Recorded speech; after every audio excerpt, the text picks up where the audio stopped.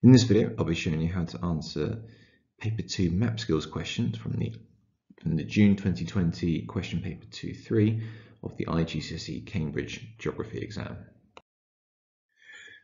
How you can use this video?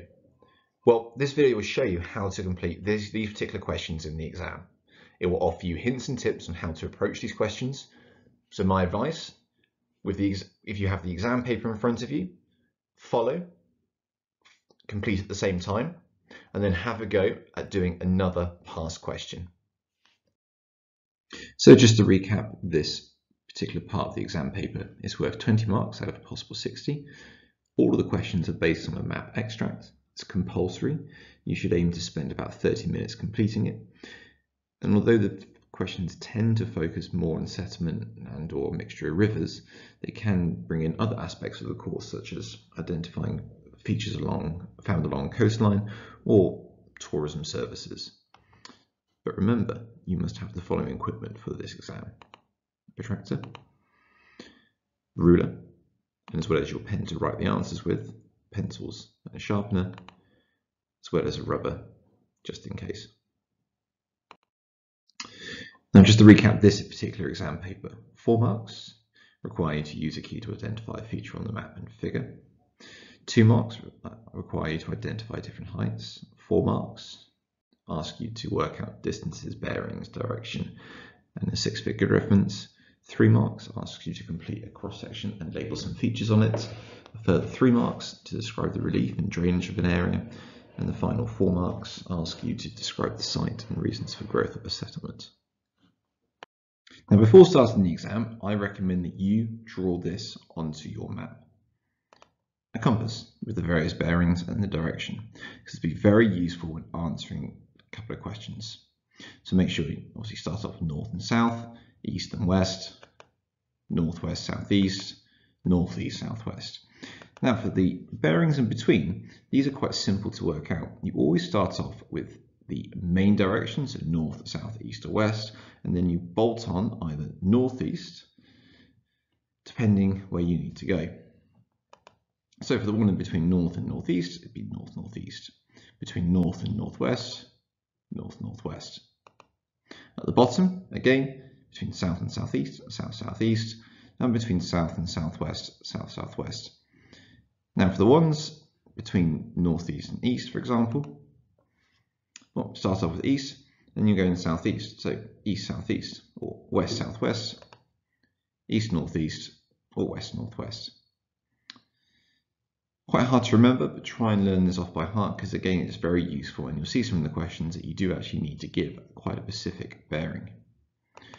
As well, double check what the scale and contour lines is and maybe make a note. So for example, for the scale, if it says 1 to 50,000, that means 1 centimetre on the map is 50,000 centimetres in real life, or 1 centimetre is 500 metres. And if the scale is 1 to 25,000, that means 1 centimetre on the map is 250 metres in real life. It might be worth writing that down just before you start so you have that point of reference. And again, another thing to identify is the, um, the contour line interval. In this, on this particular map, it's 10 metres, and it might be written directly underneath the map, like it is here, or you might need to go into the key and find something like this. So on this map, the gap between each contour line is five meters. And that's again, very useful when you're having to draw the contours and the cross-sectional area onto your map. So you know, as you're going up or, or as you're going along the line and you're going between the big thick bars, you know exactly what the small ones are worth. Typically the first question will look something like this. So how to approach this question? First thing to remember is that the map extract and the figure number have the same dimensions. In other words, the grid squares are exactly the same size, 2 centimeters by 2 centimeters. To focus your attention, draw the outline for figure 1.1 onto the map. And then find on the map the features from figure 1.1. So here you've got A, B, C, D, the height at E, the contour line. Now for the first question, question it asks you to find the feature A. So you need to find the correct feature and follow the line, in this particular case, to make sure they match. So here you have secondary roads. And there, as the answer says, secondary roads. Continuing on, feature B. Well, if we look closely, there's one of two possibilities. But I'm going to go with this one because the lines, the circles are coloured in, whereas on the other one, if I was going to select the first line, it'd be cable transport, but the circles aren't coloured in. If I look at feature C, I need to find the blue circle, which is this one. Now remember, the feature in this particular case, the smaller blue circle aligns with the drinking water installation, the square, the building, and the circle, the water tower. That's why I'm going to select water tower. Feature D, again, need to match up the correct symbol, and so it's the middle one, and therefore that means it's a castle. And then feature C, sorry, the height of triangulation pillar. It looks here for the triangulation pillar, and next to it's written 258. So I'm going to write 258 meters. If we look at the key, that's what it would tell me. And then this line here for F, well, if I follow that line around, it comes to about 200 meters, exactly 200 meters because it's a contour line. And so those are my answers. Again, if I check them against the mark scheme, yeah, there they are, all correct. Now remember for this, how the symbols are laid out corresponds exactly to the order in which they are defined in the key. So for example, back to feature C, we need to look at the last. The last one is what the symbol is, therefore the last in the order of what that means, water. Next question. What is the straight line distance from the church in the town mentioned to the church in Hoddy?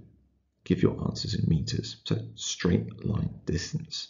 Again, first thing you need to do is use the key to identify a church. Okay, so that is a little cross and it's an orange circle. So I find that in the first town,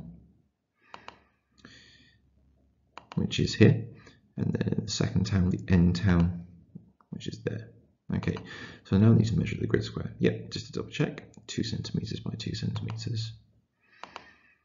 And so I find the location, the center of both locations, put my ruler starting at naught at the church, and I measure across to the center in the other church, and it's about 4.7 centimeters.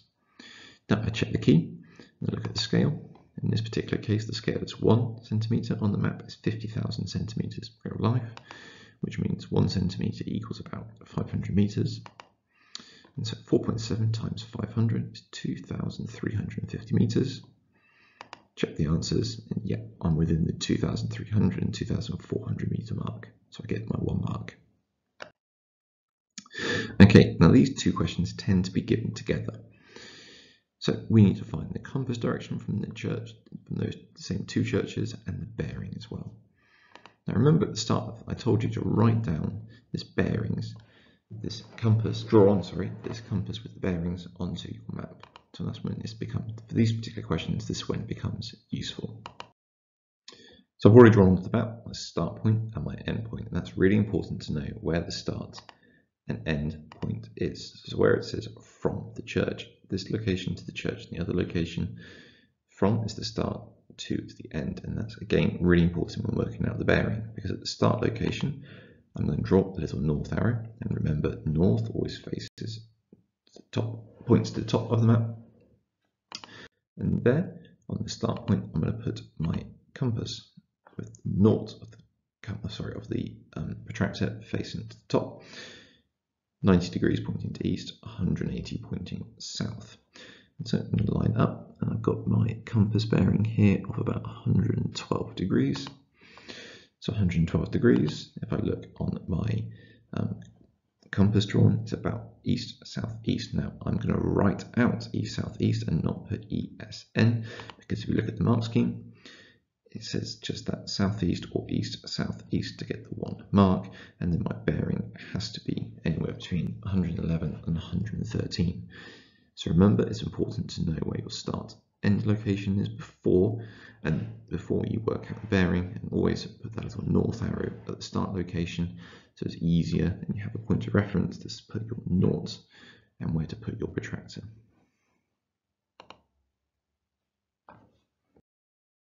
Another common question is to give the six-figure grid reference of a particular location. In this case, we have the church. So, to find the feature, it should already be circled. And then for the six figure, we need to find the grid square it is in, the bottom left-hand corner of the grid square it is in. I've marked that here with a little red circle. So to start off, we need to work out four figure reference. So we go along the corridor to the number that's in line, that's 75, and then up the stairs to again the number that's 9, which is 96. write that down. 75, leave a space, 96, leave a space. Because we need to work out the third and sixth number. To do that, we take our ruler and remember that grid square is two centimeters across, and so that means for six figure references that two millimeters equals one point. So we take the ruler and we go across, draw a little line down to the number that's in line, and here is just over um, 0.5, which gives an answer to about 3, because remember it's 2 millimeters equals 1 point. And then once we've worked that out, we need to go upstairs. So we go for the 96, the number after 96. Okay, we go up until we find the number that to draw a line, the number that's in line, and here we have um, 1.5. And so that is again 2 millimeters being one point, that comes down to about 7. And so again here, look, 752, 2 or 3, 967 to get the one mark. And that's how you do it, using your ruler. Being accurate, taking your time. And remember, work out the length of each grid square first, and then to get your calculation for the third and sixth point. These questions are perhaps the ones that take the longest time, but the first thing to remember is that the figure dimensions are always the same as the map. So if I measure the line here, or figure 1.2, you can see it's 10 centimeters. And if I measure the same line and draw on that line onto the map, again, it is 10 centimeters. Now, for the first part of the question, I need to use label arrows to show the position of the N63 road and the railway. So if I've got my ruler, I measure across to the N63 road, I can see that is about 1.9 centimeters. And likewise, the railway is about 2.6. Now, Always double check against the key that you've got the right symbol to draw on. And so if I put my ruler up against on the figure, measure across to 1.9, I draw a couple of arrows, and to 2.6, and then I label those the N63 and the railway, copying exactly how they answer, how they're written on the um, figure. Now when it comes to drawing the cross section, I know I need to do these two little bits here. So I'm drawing my, got my ruler, and so I know I have to do it from about uh, 3.6 centimeters all the way to about 6.4 centimeters. So how do I do this? Well, the key is to remember that you um, have to look at what the contour lines are and to look at what does the key tell me about the contour line intervals. So here the elevation is about 10 meters. That means that every contour line drawn is a 10 meter gap. And so when I'm looking them on, I'm finding the whole nearest whole number I'm being careful there are no circles, so I'm following the contour line to make sure I've got the same height and double checking to make sure where the land goes, that it's going up to a higher height or down to a lower height. So once I've marked on my map where all the contour lines are, I'm then going to use my ruler to work out the distance from sort of zero, the start point of that purple line, and um, what those heights are. So for example, at 3.7 centimeters is 190 meters, 3.9, 200, 4 centimeters, 210, so on, so on, so on. So I've drawn all the lines. Now, once I've drawn them on, I will then use my ruler and I'll plot, as you can see, those red dots onto my cross section. All of the various um, heights and their distance and the centimeters I've written down earlier, perhaps on the map or something like that. Once I've done those, I just connect the dots. Now, in another part, some of these questions might also ask you to select several statements based on the relief or drainage of the area. Now, what do we mean by relief and what do we mean by drainage of the area? If you know what these two terms are, please just skip ahead till we go through the answers to how to work out what the answers are. If not, stay watching. Relief is pretty much the height and shape of the lands.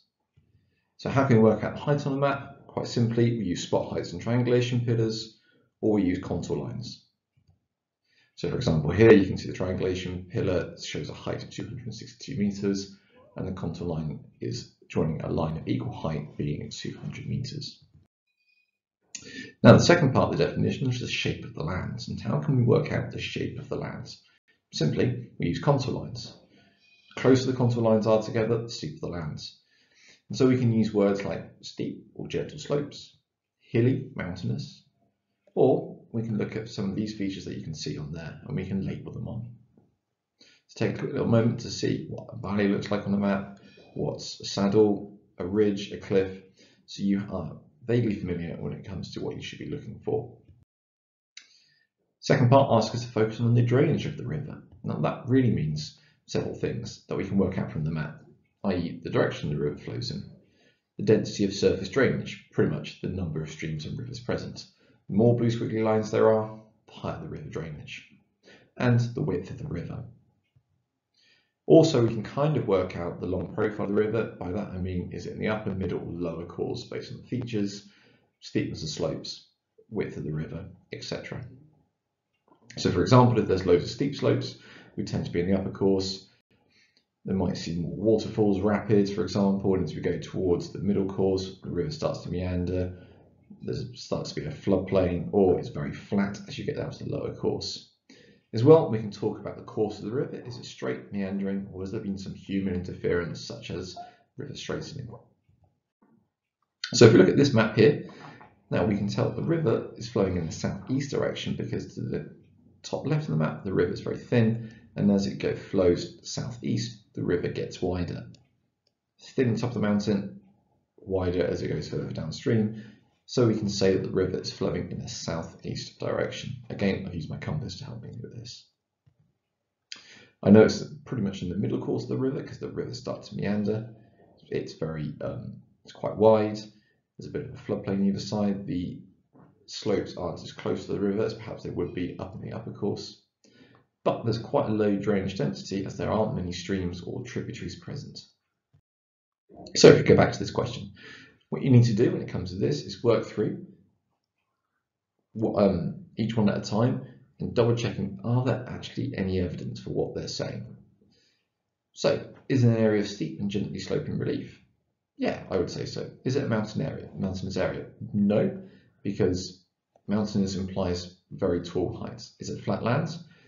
Can't be. Flatland means there's absence of contour lines, and there are contour lines here. The highest point is 250 meters.